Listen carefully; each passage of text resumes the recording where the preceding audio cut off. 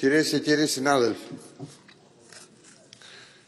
θα ξεκινήσω με αυτό που θα τελειώσω κιόλας, ότι εκτιμώ ότι αυτά τα 3,5 χρόνια εγώ ως πρόεδρος της Βουλής και οι συνάδελφοι του Προεδρείου εκτελούμε τα καθήκοντά μας με απόλυτη θεσμική προσήλωση, με απόλυτη θεσμική προσήλωση. Το λέω έτσι και θα το πω και στο τέλος.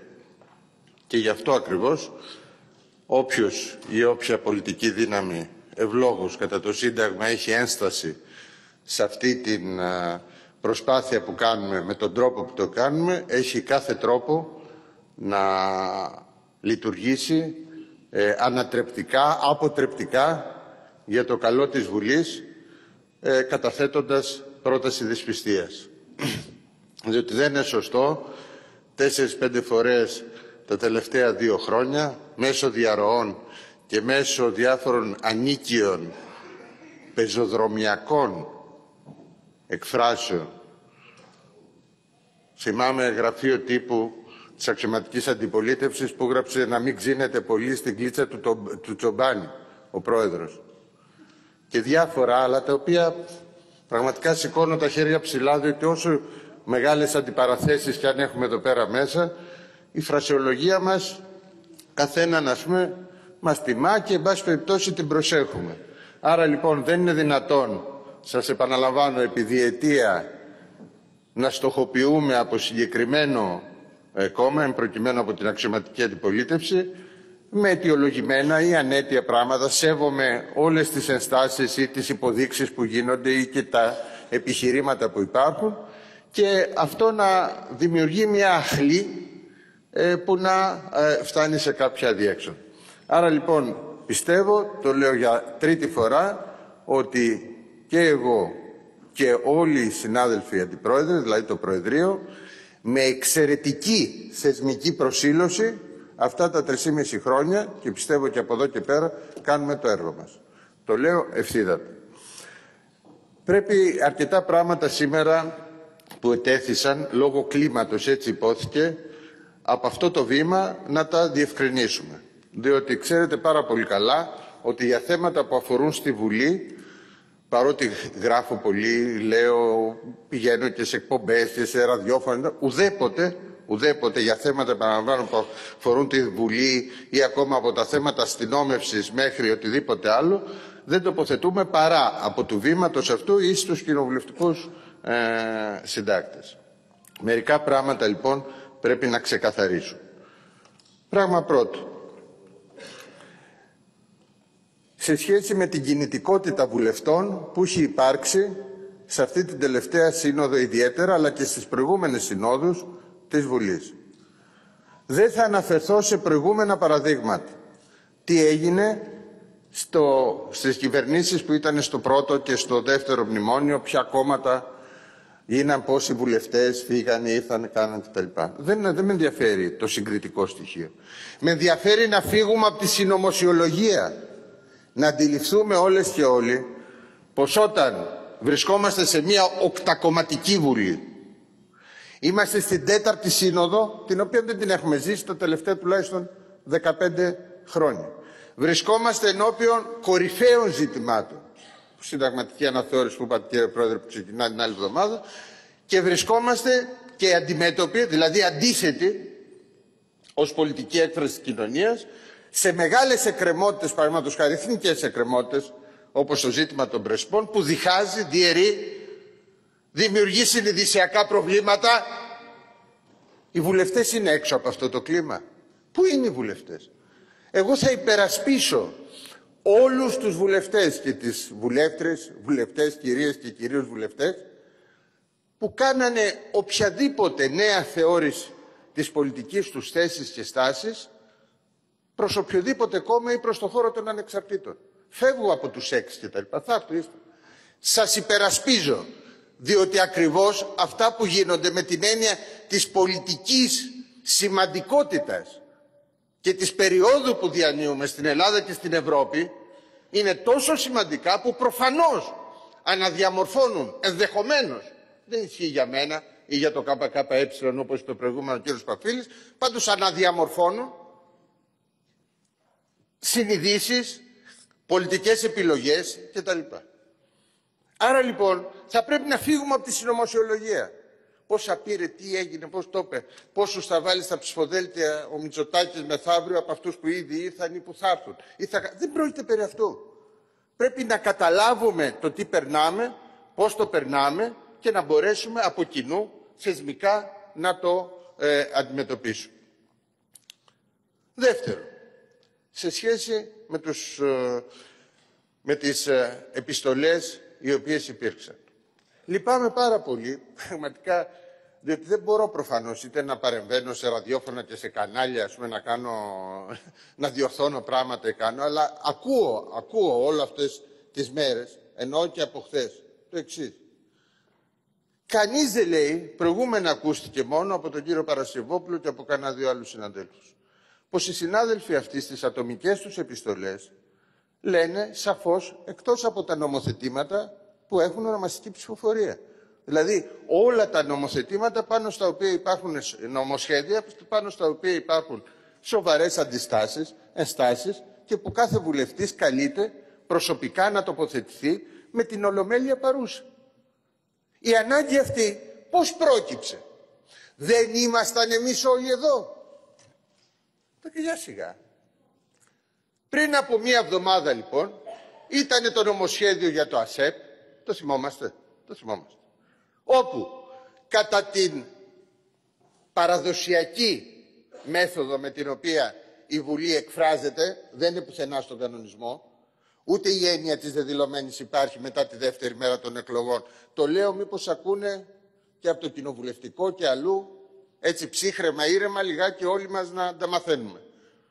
Επαναλαμβάνω, κατά την κοινοβουλευτική πρακτική δηλώνουν οι εκπρόσωποι των κομμάτων και τεκμηριώνει το Προεδρείο, αυτό που είπε ο κύριος Βενιζέλος προηγούμενα, το τεκμήριο της πλειοψηφίας με βάση τις δηλώσεις των εκπροσώπων των κομμάτων.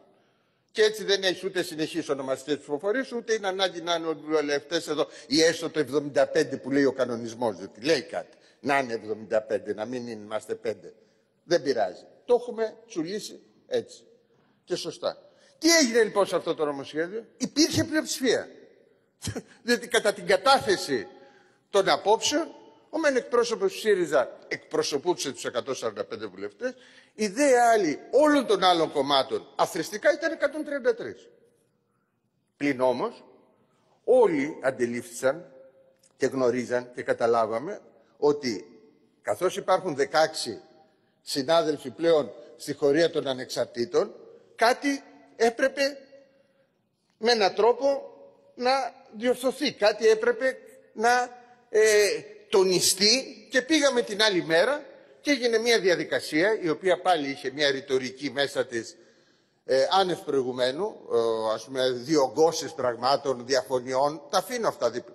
Κάναμε την άλλη μέρα μια διαδικασία και κάναμε μια ψηφοφορία ονομαστική που είχε το γνωστό αποτέλεσμα. Διότι όπως υπόθηκε προηγούμενα κατά κόρον και δεν έχει αμφισβητηθεί και από την αξιωματική αντιπολίτευση, αυτή η κυβέρνηση τουλάχιστον στους τελευταίους 7 μήνες δεν έχει ξαναγίνει, έχει πάρει τρεις φορές ε, εμπιστοσύνη της ε, Βουλής.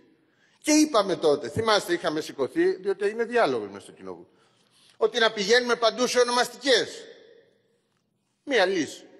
Είστε στη διάσκεψη των πρόεδρων, λέει παιδιά, το, τι γίνεται, θα, εδώ έχουμε και δουλειές σας έξω να κάνουν, να, να προσεγγιστεί το ζήτημα με μια συνένεση ευρύτερη, εφόσον θα υπάρχει η διάθεση από πλευράς άλλων βουλευτών να δηλώσουν, όπως δήλωσαν τελικά οι έξι συνάδελφοι, ότι έχοντας ε, ψηφίσει πολλές φορές, ας πούμε, την, ε, έχοντας δώσει ψήφο εμπιστοσύνης και πρόσφατα, στα νομοσχέδια που, είναι, που δεν είναι ονομαστική ψηφοφορία και δεν προκαλείται ονομαστική ψηφοφορία και στα οποία προφανώς και σε οποιοδήποτε από αυτά, διότι εγώ δεν το αποκλείω αυτό, Μπορεί να έρθουν και νομοσχέδια που να έχουν λεπτά ζητήματα. Παραδείγματο χάρη ανθρωπίνων δικαιωμάτων. Πράγμα. Δεν είναι πια ε, το μνημόνιο ή το μη μνημόνιο. Υπάρχουν διάφορα. Δεν είναι μόνο οι πρέσπε. Προφανώς μπορεί οποιοδήποτε εξ αυτών, όπως και οποιοδήποτε εξημών, να πει: Εγώ αυτό δεν το ψηφίζω. Αυτό έγινε. Αυτό έγινε. Έτσι ώστε από κοινού να είναι τεκμαρτό, να υπάρχει το τεκμήριο, πως όταν οι συνάδελφοι λένε κάθε κόμμα τι λέει, να γνωρίζουν ότι από τους 16 μεθαύριο μπορεί να είναι 6, μπορεί να γίνουν λιγότεροι ή 24. Δεν μπαίνω στην αριθμητική αυτή. Ανεξαρτήτων υπάρχουν τουλάχιστον 6 οι οποίοι με μία αρχική δήλωση θεωρούν ότι ψηφίζουν ε, το νομοσχέδιο που φέρει η κυβέρνηση. Έτσι ώστε να μην υπάρχει καμία αντιδικία και να μην γίνονται ονομαστικές ψηφοφορίες κτλ. Περί αυτού πρόκειται. Ανταυτού υπάρχει μια ρητορική περί παρακμής, περί ευτελισμού, μια ρητορική που, που κανιβαλίζει τους συναδέλφους, τους έξι, με ερωτηματικά και με άλλα πράγματα. Με συγχωρείτε κύριε Τσιάρα, δεν μιλάω μόνο από την πλευρά σας τι έχει γίνει. Μιλάω και για δημόσιους εκβιασμούς και για αφιερώματα και για πακέτα που θέλουν να μακελέψουν ή θέλουν πολλαπλά να στοχοποιήσουν συναδέλφους και στα οποία θα πρέπει να είμαστε όλοι από τη μία πλευρά και να μην επιτρέπουμε αυτή την κατάσταση. Λέω λοιπόν, αυτό είναι εφτακάθαρο. Περί αυτού πρόκειται.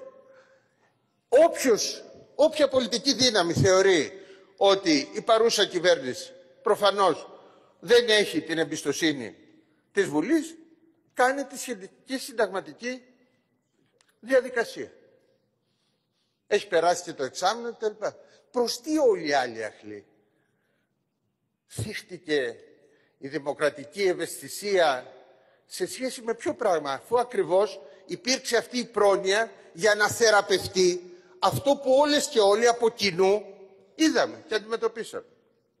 Και έρχομαι στο θέμα της ε, επιστολής του Πρωθυπουργού. Εδώ πια πραγματικά σας λέω αδυνατό να παρακολουθήσω αυτά τα οποία έχουν υποθεί από χθες. Πρωθυπουργός ο κύριος Τσίπρας με την πυκνότατη παρουσία του επί 3,5 χρόνια στην Ελληνική Βουλή σε αντίθεση με το πρόσφατο τουλάχιστον παρελθόν άλλων πρωθυπουργών διότι και στο παρελθόν υπήρχαν και άλλοι πρωθυπουργοί που είχαν μια πυκνή παρουσία και συμμετοχή στα δρόμενα αλλά ο πρωθυπουργός κ. Τσίπρας έχει μια εξαιρετική παρουσία από πλευράς συνέπειας μέσα στο Κοινοβούλιο, σε όλα τα επίπεδα, για όλα τα θέματα. Όπως επίσης έχει και δικαίωμα να κάνει και αναφορές και το γνωρίζετε καλύτερα. Εμού διότι είστε παλαιότεροι. Δηλαδή θα μπορούσε να κάνει και αναφορές με επιστολές ή με αναφορές που να διαβάζονται προς την Ολομέλεια και να λέει ότι εγώ για αυτό το θέμα που έχει ανακύψει δημοσίως η άποψή μου είναι αυτή και θα παρακαλούσα αυτό διότι είναι και πρόεδρος της μεγαλύτερης κοινοβουλευτικής ομάδας του, ε, του Κοινοβουλίου. Σας λέω αδυνατό να καταλάβω πώς παραδείγματος χάρη σήμερα ο αρχηγός της αξιωματικής αντιπολίτευσης διαπολωστή φορά και με φρασιολογία σας λέω τώρα ο υπάλληλος, ο τέλος, απογραμμένο κείμενο αναφέρθηκε σε μένα ότι δεν επιτελώ το θεσμικό μου ρόλο διότι έπρεπε κανονικά να επιστρέψω στους έξι συναδέλφους τις επιστολές τους και στον Πρωθυπουργό την επιστολή του. Σας λέω ευθύτατα, εγώ στην πρόκληση και στην πρόσκληση να λειτουργήσω αντιθεσμικά και να συνεργήσω εναντίον της πλειοψηφίας της Βουλής και εναντίον του Πρωθυπουργού, όχι δεν πρόκειται να συνενέσω, θα το θεωρούσα το έσχατο θεσμικό ατόπιμα και θα παρετιόμουν. Γιατί περί αυτού πρόκειται. Περί αυτού πρόκειται. Ή, είναι, ή είμαστε θεσμικά προσιλωμένοι και με έναν τρόπο αντιμετωπίζουμε τα πράγματα ή αν είμαστε υπάλληλοι, κομματοτάδε κτλ. Το τι έχω ακούσει εννοείται από κορυφαίας στελέχη αυτές τις μέρες δεν λέγεται. Ε, τότε, τότε καλούμαστε να συμπεριφερθούμε διαφορετικά. Δηλαδή τι, να στραφούμε εναντίον της πλειοψηφίας. Αυτή είναι η πρόσκληση. Και αυτή η πρόσκληση προφανώς δεν εμπεριέχει ίχνος θεσμικής ευπρέπειας και ίχνος από πλευράς ιστορικότητας θεσμικής προσήλωσης.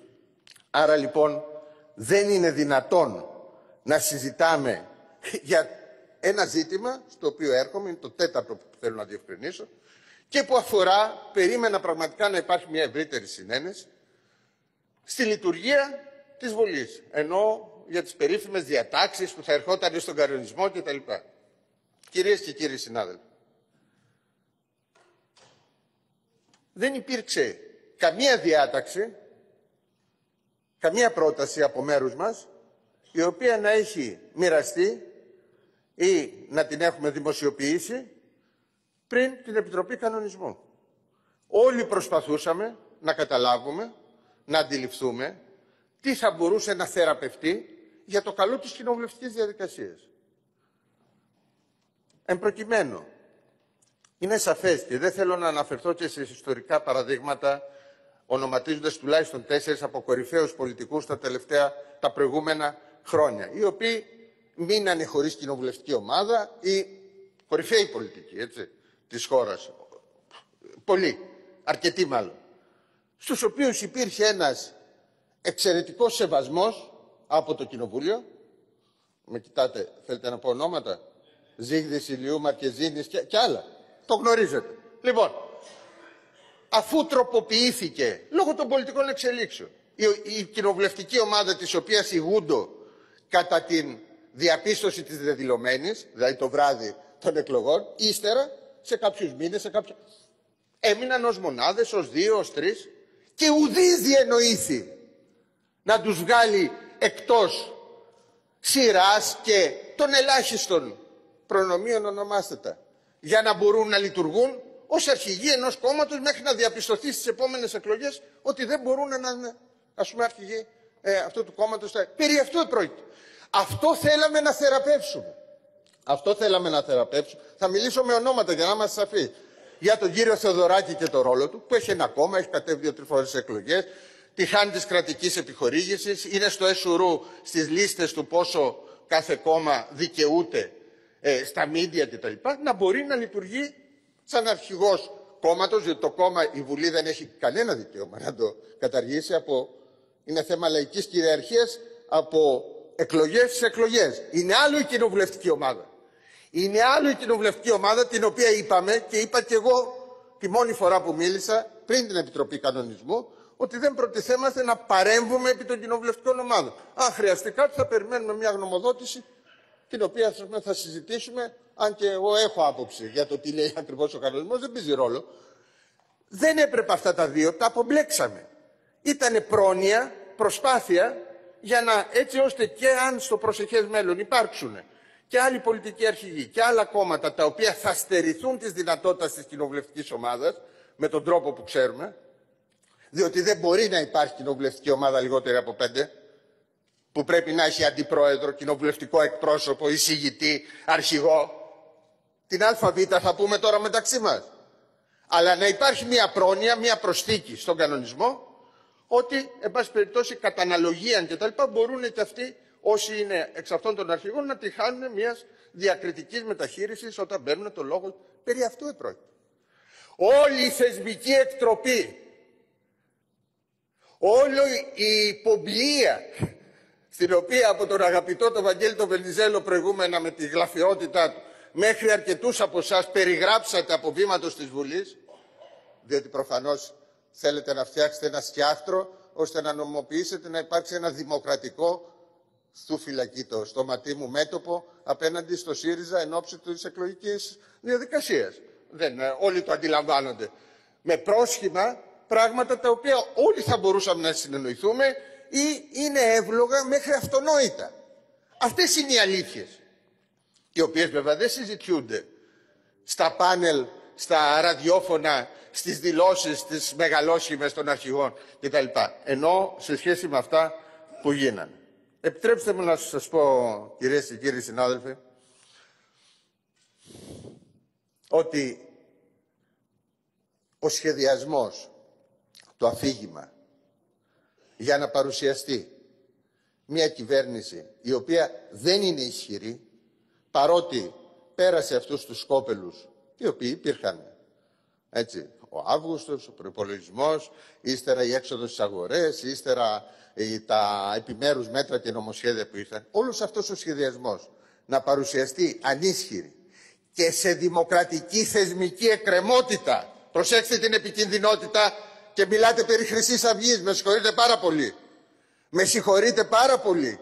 Η λογική αυτή, η ρητορική αυτή, ο σχεδιασμός αυτός, το αφήγημα αυτό, ότι υπάρχει μια κυβέρνηση που τι να κάνουμε, θα μείνουν μερικού μερικούς μήνες ακόμα, άλλοι λένε τέσσερις, άλλοι οκτώ, εννιά κτλ.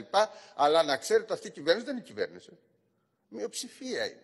Και κάνουν κόλπα με ρετάλια και με διάφορους ας πούμε περιφερόμενους για να κυβερνάνε τη χώρα.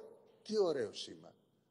Διεθνώς, στην πολιτική ζωή του τόπου, στην κοινωνία που έχει τα χίλια βάσανα και που ξέρουμε και από τα ευρωπαϊκά τώρα που γίνονται ότι είναι έτοιμη να θεωρήσει ότι συνολικά η πολιτική ζωή του τόπου και συλλήβδιν οι πολιτικές δυνάμεις και συλλήβδιν η δημοκρατία και το κοινοβούλιο είναι άχρηστα.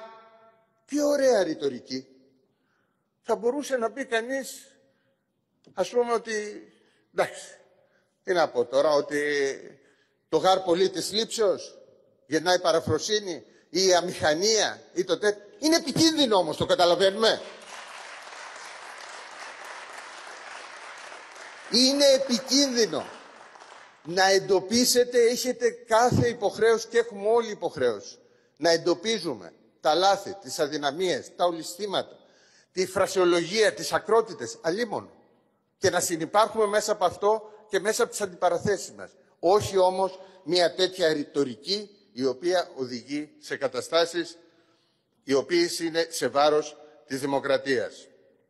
Θέλω να πω και κάτι άλλο. Ο κύριος Πρωθυπουργός αισθάθηκε την ανάγκη να δηλώσει κάτι που αισθάνομαι και εγώ να το πω από αυτό το βήμα.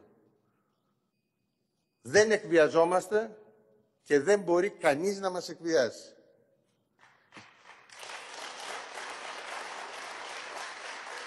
Και αντιλαμβάνεστε πολύ καλά και αντιλαμβάνεστε πολύ καλά ότι οποιαδήποτε προσπάθεια σε αυτή την κατεύθυνση όχι μόνο θα πέσει στο κενό, αλλά θα οδηγήσει και τους εμπνευστές της κυριολεκτικά και στο περιθώριο της πολιτικής ζωής, αλλά και στο περιθώριο γενικότερα της δημοκρατίας μας. Αυτό ας το κρατήσουμε.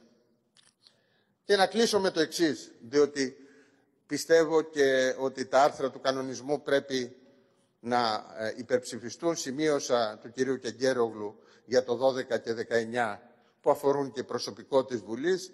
Σημειώνω με αρνητική έκπληξη τη θέση της Νέας Δημοκρατίας διότι δεν θέλω να καταθέσω στα πρακτικά του Ιουλίου αυτής της συνεδρίασης του κανονισμού ότι ο κύριος Τραγάκης είχε πρωταγωνιστήσει με θετικό πρόσημο το λέω στο να τεθούν και τα δύο ζητήματα που αφορούν σε προσωπικό, είτε τους ειδικούς φρουρούς, είτε τους αποσπασμένους. Και εκπλήσωμε πραγματικά. Η δε δικαιολόγηση, ξέρετε, μέσα σε αυτό το κλίμα, εμείς δεν μπορούμε να συζητάμε αυτά, είναι πρωτοφανής. Είναι πρωτοφανής, είναι απίστευτη. Διότι αυτή η χώρα και αυτό το κοινοβούλιο, αν μη τι άλλο, τα τελευταία δέκα χρόνια έζησε κλίμα για το οποίο θα γίνονται διδακτο, διδακτορικά τα επόμενα 40 χρόνια από τους φοιτητές. Και μπορέσαμε και πορευτήκαμε και εμείς και εσείς και άλλοι είναι δυνατόν τώρα. Περί αυτού πρόκειται; Επιτρέψτε μου και δεν κάνω ερμηνεία προθέσεων.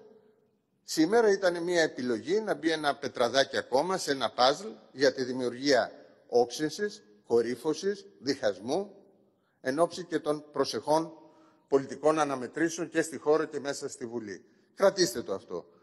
Εγώ δεν εισηγούμε, παρότι αυτά θέλουν ευρύτατη συνένεση και παρότι πάντοτε θέλαμε να διαμορφώσουμε ευρύτατες συνενέσει. Σας το είπα προηγούμενα και για τη διάταξη για τους αρχηγούς. Τελικά την αποσύραμε.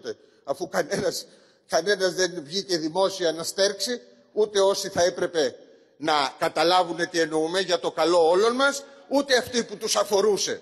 Ουδής βγήκε να στέρξει. Μας λέγανε ναι, κάντε το, καλά είναι, αλλά ξέρετε και τα λοιπά, αντιλαμβάνεστε τώρα. Λοιπόν, το αποσύραμε. Εγώ δεν θα το αποσύρω. Δεν παίρνω την ευθύνη το 12 και το 19 να το αποσύρω. Διότι μιλάμε για ανθρώπους, μιλάμε για υπαλλήλους, μιλάμε για ζωές, μιλάμε για οικογένειες, μιλάμε για υποχρεώσεις, μιλάμε για δεσμεύσεις που έχουμε πάρει εδώ πέρα μέσα και δεν βάζω στον τακτικισμό αυτή την ιστορία. Το 12 και το 19 λοιπόν θα μείνουν. Κυρίες και κύριοι συνάδελφοι, θα κλείσω με το εξής.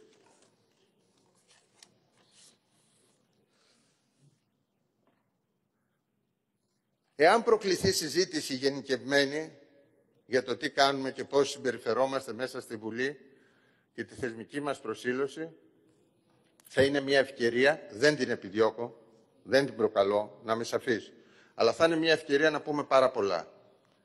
Απλώς σήμερα θα πω ότι είναι ένα ολόκληρο κεφάλαιο που θα άξιζε τον κόπο κάποτε που θα έχουμε ώρα ή κάποτε που θα αναγκαστούμε, αν πάμε σε πρόταση της πιστείας για το πρόσωπο του Πρόεδρου, να πούμε το τι Βουλή παραλάβαμε και ποια βήματα έχουν γίνει εδώ πέρα μέσα. Δεν έχουμε κάνει ούτε νήξη για αυτά και το γνωρίζετε πάρα πολύ καλά. Δεν έχουμε κάνει ούτε νήξη για το πώς και ποιοι και πώς είχαν στελεχώσει άξια στελέχη. Που όλοι έρχονται από εδώ και λένε τι άξιοι όλοι εσείς που μας βοηθήσατε κτλ. Αξιότατα στελέχη. Αλλά πώς γινόντουσαν οι προσλήψεις, οι κρίσεις, οι στελεχώσεις. Σε κάθε προεδρία πόσες εκατοντάδες, πόσες εκατοντάδες, είναι λίγο ανατριχιαστικά τα νούμερα, φίλων και συναδέλφων και συνεργατών με τους οποίους εγώ πορεύτηκα αυτά τα 3,5 χρόνια και τους βγάζω το καπέλο μου και πορευτήκαμε χέρι-χέρι. Είναι λειτουργή. Πλην όμως πώς ήρθαν, πώς μπήκαν και με ποια διαδικασία έγινε αυτό. Δεν μιλήσαμε για τον κανονισμό. Επιτρέψτε μου να σας πω. Μιλάτε περί κανονισμού. Τι ωραία. Από πού ήρθατε. Από κόμματα τα οποία είναι, επειδή μιλάτε και για τη μεταπολίτευση, τυχαίνω επειδή είμαι πολύ παλιογέρος πια, να ξέρω ότι μεταπολίτευση μέρα-μέρα, έτσι. Λοιπόν, αυτές τις δεκαετίες, μιλάτε τα δύο κόμματα που ήσασταν εδώ πλειοψηφίες περί κανονισμού της Βουλής; Ναι.